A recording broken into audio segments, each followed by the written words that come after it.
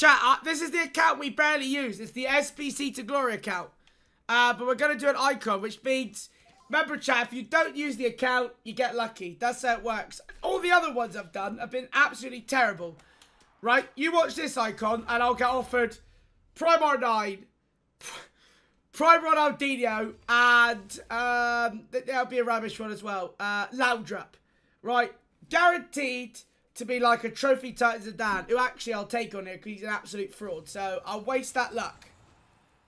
Oh, well, I actually did. Hey, for birthday Desailly, who I've already got, that would have been that bad. 93 Blanca Rui Costa. I mean, I don't know what... I think Desailly's price absolutely tanked, but... Mate, is it me, or are these just bad? Is it me, or are these just bad?